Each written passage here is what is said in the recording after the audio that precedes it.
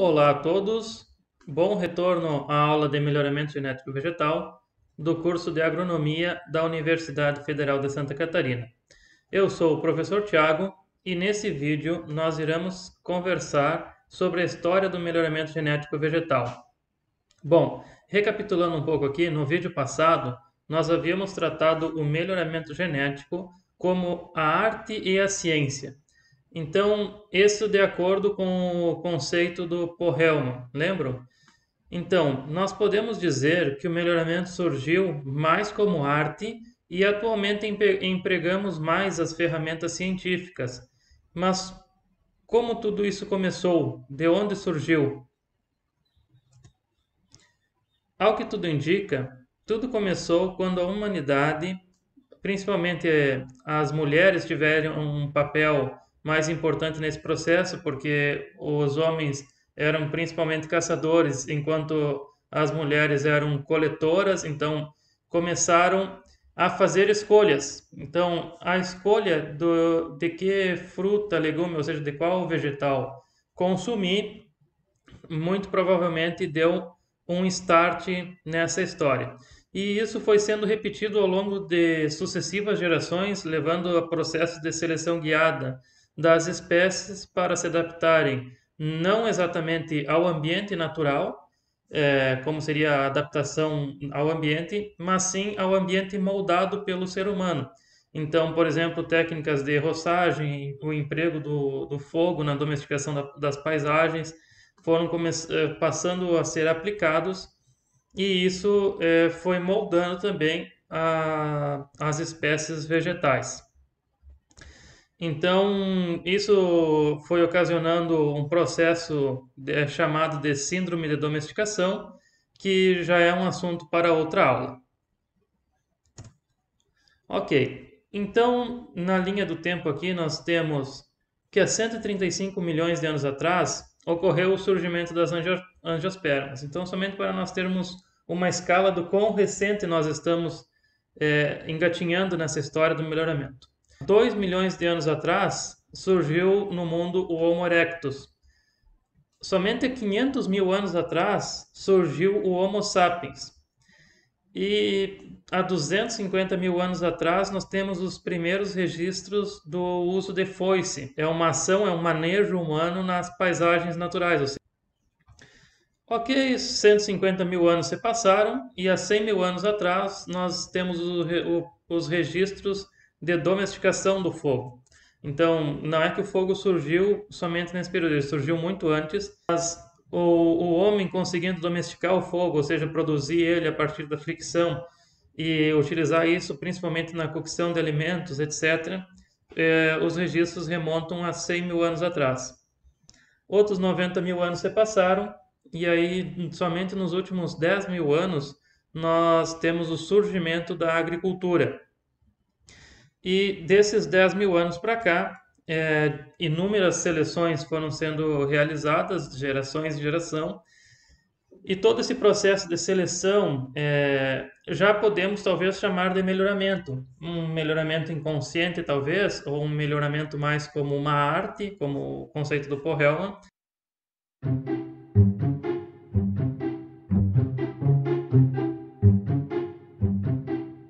Porém, ainda assim, é uma forma de manejar as espécies buscando aquele ideótipo, é, uma planta mais produtiva, etc. Então, vamos tentar colocar um marco aqui nessa história onde tudo começou. Estudos naturalistas buscando compreender a evolução das espécies remontam o final do século XVIII quando surgiram os estudos de Lamarck, seguido pela teoria da evolução proposta por Charles Darwin e Alfred Wallace, contudo mais voltado para o que veio a se tornar a ciência do melhoramento genético vegetal, podemos considerar o Kuhlreuter como um marco inicial. Esse cara, ele foi um botânico alemão que viveu entre 1733 e 1806, é, ou seja, quando Darwin e Wallace publicaram a sua teoria, ele já fazia 50 anos da sua morte, então ele foi bem anterior. Ele foi pioneiro no desenvolvimento de várias hipóteses baseadas principalmente na observação de fenômenos naturais, porém também ele já aplicava bastante métodos experimentais eh, relativamente sofisticados para sua época, como condições controladas de, de ambiente, né? Eh, de cruzamentos, uh, repetições e o, os controles experimentais. Como destaques para os seus achados, nós podemos citar o seu estudo com fertilização vegetal, com os resultados eh, publicados em seu livro em 1761, esse que está aparecendo aí para vocês. O estudo pioneiro com hibridação interespecífica vegetal, quando ele cruzou duas espécies de tabaco em 1760 e observou que, curiosamente, os híbridos gerados demonstravam esterilidade masculina.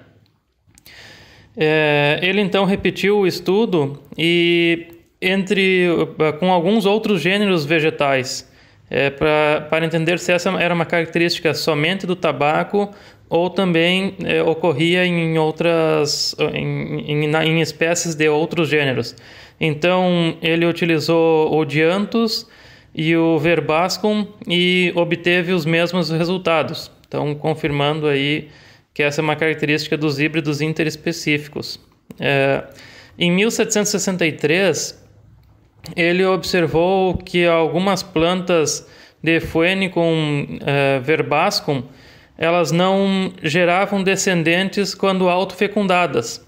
Foi aí então que ele passou a ser o primeiro pesquisador uh, ou o primeiro observador a relatar o mecanismo de autoincompatibilidade em plantas. Que nós vamos ter algumas aulas mais para frente somente sobre os mecanismos de autoincompatibilidade. Então, o Kuhreuther ele já propunha que o desenvolvimento das sementes dependia de uma mesma quantidade de fluidos do parental masculino e do parental feminino. Essa proposta é muito, muito semelhante, né, se nós formos pensar, com, com o que realmente ocorre, que quando é, ocorre a meiose, então nós temos uma metade é, da mãe e metade do pai para formar um, um novo indivíduo. Contudo, ele, ele buscava essa hipótese à luz da alquimia, porque uh, apesar de tudo, dele ser um grande cientista, um grande pesquisador à frente da sua época, ele, ele era também um alquimista, o que era comum nessa, nesse período. Então, como comentado, apesar dos estudos eles estarem à frente do seu tempo, o Kuhreuther ele tentou explicar os seus resultados é, com base na, nas leis da alquimia. Então ele perdeu observações importantes sobre o comportamento hereditário dos caracteres que foram estudados somente é, mais de um século depois pelo igualmente genial Gregor Mendel. Então, a partir dos achados do Kuhreuther, nós temos também um grande avanço a partir dos estudos do Louis de Vamorin. É, como o próprio nome indica, ele é um francês que viveu de 1816 a 1860 e a sua família é uma importante produtora e comercializadora de sementes na França. Então ele já vem da terceira geração nessa família e teve então a possibilidade de se dedicar é, mais ao estudo da ciência da, das sementes e, consequentemente, é, das características hereditárias. Então, para ter uma ideia da importância da, da empresa da família da, da Valmoran, foi a primeira empresa na, na Europa a desenvolver um catálogo de sementes para comercialização. E eles dominaram aí a venda de sementes por alguns séculos e o Val Moran, ele buscando desenvolver é, uma cultivar de beterraba com maior teor de açúcar, claro, pensando, é, ele foi um cientista, mas ele também estava pensando no lado comercial. porque, afinal de contas, ele foi, sobretudo, um, um empresário. Então, ele desenvolveu uma cultivar de beterraba com maior teor de açúcar e para isso ele acompanhou a segregação dos caracteres a todo o desenvolvimento é, dessa nova cultivar de beterraba. E com base nesse acompanhamento é o que nós chamamos hoje de método de seleção por teste de progênese. Então, o teste de progênese foi criado é, pelo, pelo Valmorã. Quando nós falarmos mais para frente numa aula sobre isso, é, vocês vão se lembrar, então esse teste veio do, do Valmorã. Um exemplo de um melhoramento bem estabelecido, até porque foi anterior mesmo do, do próprio Mendel, né? ele desenvolveu já com base nisso daí. E com base nisso ele pôde observar uma coisa que o Kulreuter não conseguiu é, observar, apesar do Kulreuter ser um grande observador, um grande pensador, como nós comentamos anteriormente, ele tinha, ele via aquelas características à luz da alquimia. Então ele não observou que os caracteres eles passavam hereditariamente é, de parentais para para as progênies, de progenitores para as progênies. E foi com, com base nessa observação que o, que o Louis de Valmorin, de Valmorin ele é, desenvolveu esse método da seleção com testes de progênies e observou que essas características elas são hereditárias. Não muito depois disso, nós tivemos os trabalhos clássicos do Gregor Mendel, que provavelmente todos já ouviram falar, mas vamos recapitular o que Mendel fez aqui e qual a sua contribuição para o melhoramento genético de plantas. Então, Mendel ele foi um austríaco que viveu de 1822 a 1884 e em 1165 ele publicou o seu trabalho clássico, Ensaio com Plantas Híbridas, clássico agora, na época, todo despercebido pela comunidade científica por considerarem os resultados controversos. E esse trabalho tem aproximadamente 30 páginas impressas. Ah, também publicou posteriormente outro trabalho, Hieráceas obtidas pela fecundação artificial. Aqui cabe ressaltar que os trabalhos do Mendel foram fortemente influenciados pelos trabalhos do Kulhauter, como nós falamos anteriormente. Então, o Kulhauter ele deixou passar alguns detalhes e o Gregor Mendel ele foi mais observa observador na segregação dos caracteres e na herança. Então, com isso ele gerou as leis mendelianas. Acontece que ele nunca, durante a sua vida, ele nunca foi reconhecido por esses trabalhos. E somente mais de 20 anos após a sua morte é que alguns outros pesquisadores redescobriram esses seus trabalhos e somente quando incorporada com a teoria do cromossomo de Thomas Morgan em 1915 foi que a genética mendeliana se tornou a genética clássica.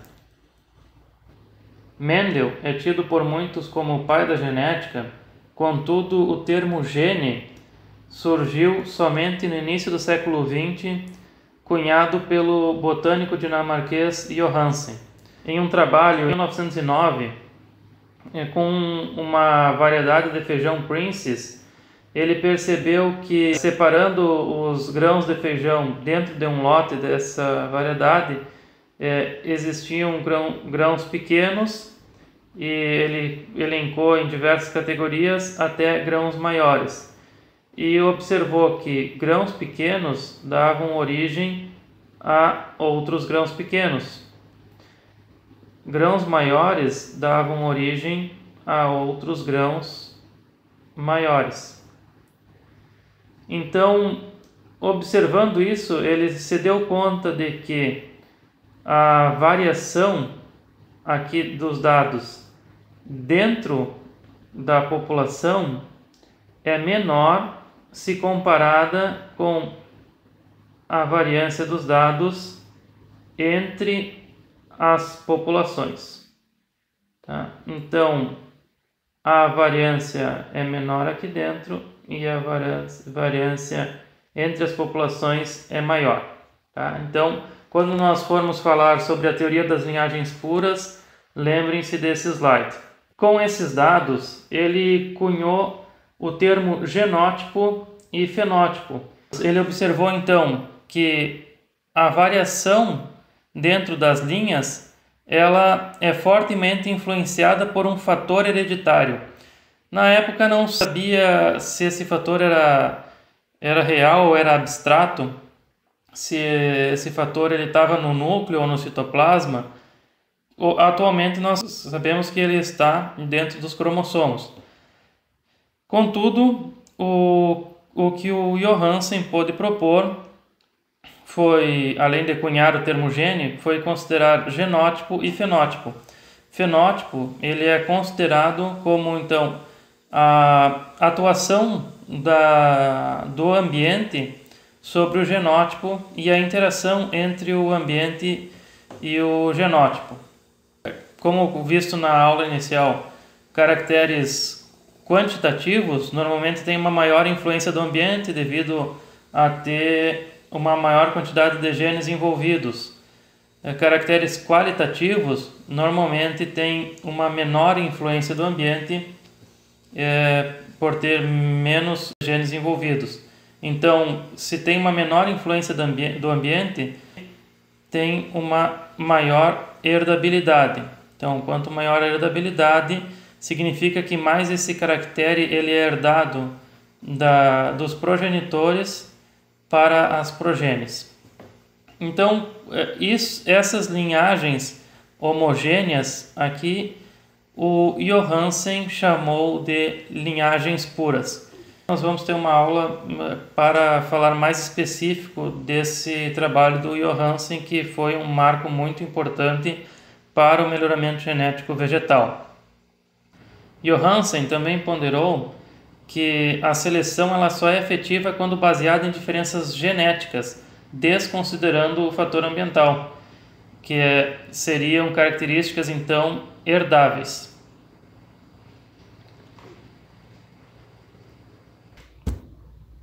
Seguindo uma linha histórica a partir dos trabalhos do Johansen, nós temos a hipótese dos fatores múltiplos, ou a teoria dos poligenes que foi desenvolvida em trigo pelo Nilson Ion, proposto em 1908. Então o Nilson Ion ele observou que cruzando trigos com sementes brancas e vermelhas na F1 eram todas homozigotas, nós já vimos isso porque na aula passada. Porém, a partir da F2, elas apresentavam uma segregação de 15 para 1.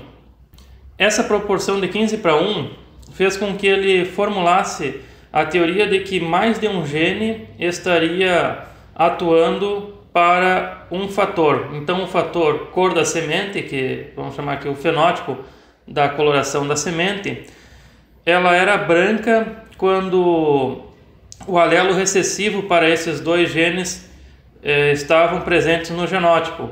Em qualquer uma das outras combinações, ela era vermelha. E aí, dentro das sementes de coloração vermelha, ele observou que existiam diferentes gradações.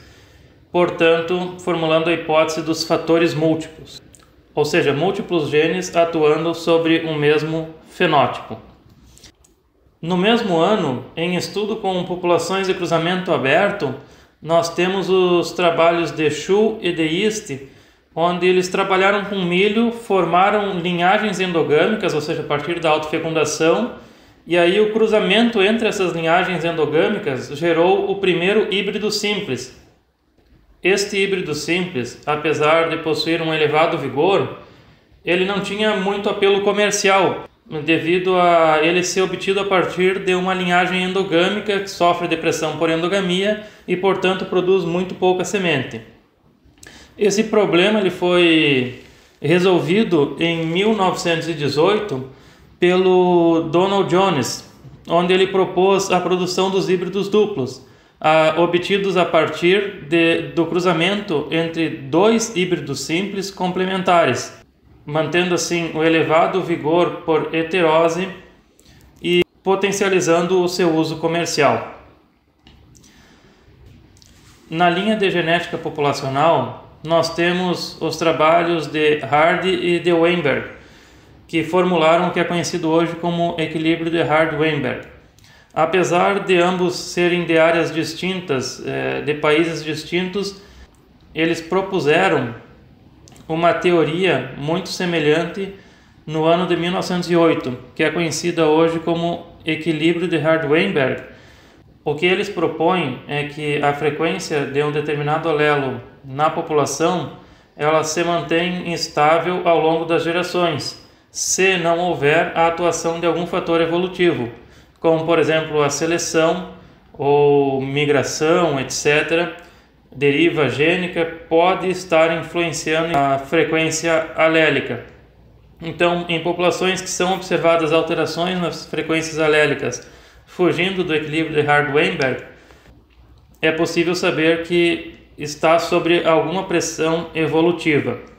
Seguindo a linha histórica, nós temos os trabalhos de Nikolai Vavilov, que foi um geneticista russo que, através de suas expedições uh, ao redor do globo, ele identificou oito núcleos onde existia uma elevada variabilidade genética.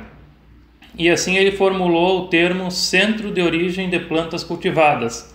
Nestes centros de origem, ele coletou amostras dessa variabilidade genética, montou um banco de germoplasma na Rússia para atuar no melhoramento genético da, de plantas de seu interesse. Ele foi um dos primeiros a propor a preservação dessa variabilidade das espécies para utilizar no melhoramento genético.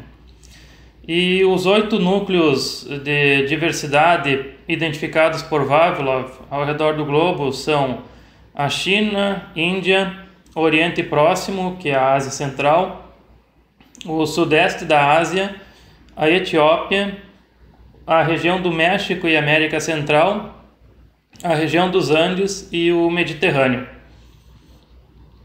Temos o conceito de hotspots da biodiversidade proposto em um trabalho publicado na revista Nature em 2000. Aqui vocês podem ver as áreas marcadas em vermelho onde existe uma concentração de maior diversidade dos recursos genéticos. Ao longo do século XX, o melhoramento genético passou por profundos avanços capitaneados pelo desenvolvimento de ferramentas estatísticas que deram suportes importantes para o avanço do melhoramento genético como ciência e também pelas descobertas na área da biologia molecular. Tivemos a descoberta do DNA como material hereditário e na última década deste século, mais precisamente em 1994, foi lançado para uso comercial o primeiro organismo geneticamente modificado, um tomate, desenvolvido pela empresa Calgene, onde foi incorporado um evento de transgenia produzindo um RNA interferência que silencia o gene responsável pela síntese dos receptores do etileno retardando assim a maturação do tomate. Parece uma ideia ótima, não é mesmo?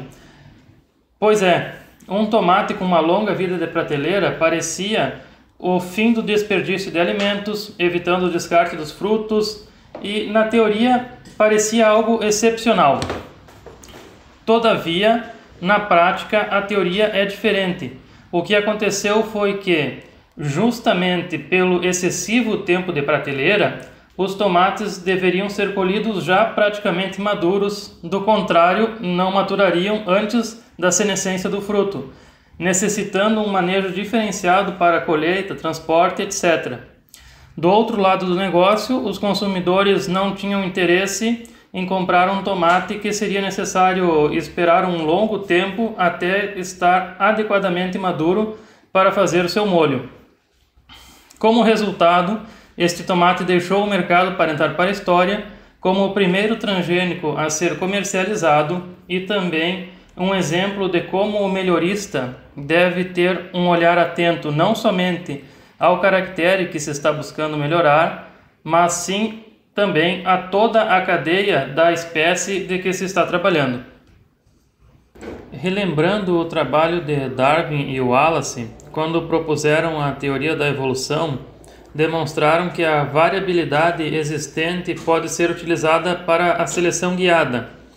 Então, em populações naturais, os indivíduos mais adaptados ao meio sobrevivem e, consequentemente, deixam mais descendentes, alterando o equilíbrio de Hardy-Weinberg se o ambiente onde as características é, são selecionadas for alterado pelo homem. Então, nós podemos guiar a seleção desses caracteres, gerando assim um viés de seleção, onde os indivíduos mais adaptados às necessidades humanas deixam mais descendentes, gerando o que conhecemos por síndrome da domesticação. Um exemplo disso são as plantas anuais. É, em um ambiente sem a influência humana, aqueles indivíduos com maior dispersão das sementes têm maior probabilidade de deixar descendentes. Contudo, o homem selecionou plantas que tinham por característica manter a semente presas à planta mãe, facilitando assim a sua colheita. E inúmeros outros exemplos podem ser citados. Vamos comentar agora um pouco sobre cada um destes exemplos. Aqui mesmo em Santa Catarina, o melhorista Yokoyama, que trabalhava com conduções de população de arroz irrigado na estação experimental de Pagre em Itajaí, observou que um único perfil em uma única planta de toda a área experimental gerou panículas com a presença de 3 a 5 grãos de arroz, onde era esperado apenas uma.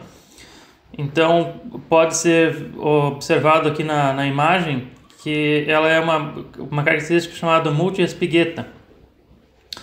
Selecionando as sementes dessa panícula, o Yokoyama observou que tratava-se de uma característica hereditária, ou seja, que passava para as gerações sucessivas, e nomeou essa característica de multi-espigueta.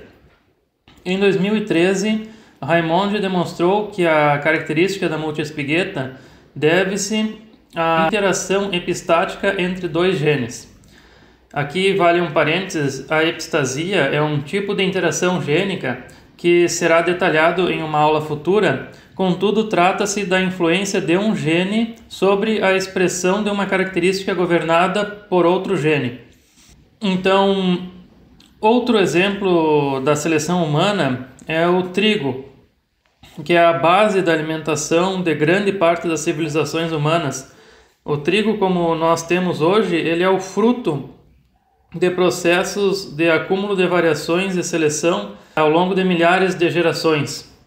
Durante este período, ocorreu o cruzamento acidental entre duas espécies diploides, gerando o Triticum turgidum, que é o que conhecemos hoje como trigo duro, que possui como característica um teor mais elevado de proteínas e amido, com maior relação amilopectina-amilose. Esta espécie é, portanto, um, um tetraploide, portando os genomas A e B.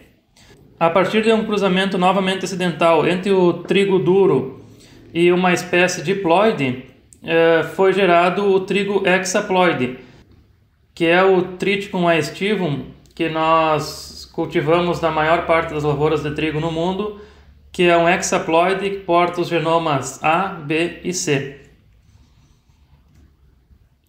Então aqui nós podemos observar a distribuição de variedades locais de trigo na região do Mediterrâneo e na Ásia Central, que foram mantidas eh, selecionadas por populações humanas distintas e onde o acúmulo de variações e a seleção guiada resultou na geração de variedades com características distintas entre si. Outro exemplo da força de seleção guiada pelo homem são as brássicas. Nesse grupo de plantas temos ainda o fluxo gênico muito comum entre as espécies, gerando híbrido interespecíficos, como demonstrado no triângulo DU, com fluxo gênico entre a Blássica oleracea, a Brassica nigra e Brassica rapa. Como resultado de processos de domesticação das espécies, a diversidade de variedades dentro das brássicas é muito elevada e aqui inúmeros outros exemplos podem ser encontrados. Contudo, isso é um tema para uma aula futura. Na aula de hoje, nós conversamos um pouco sobre o histórico do melhoramento genético de plantas. Nas próximas aulas, iremos nos aprofundar em alguns dos temas abordados e dúvidas podem ser retiradas no ambiente virtual da disciplina no Moodle ou aqui embaixo nos comentários. Obrigado por ter assistido até aqui.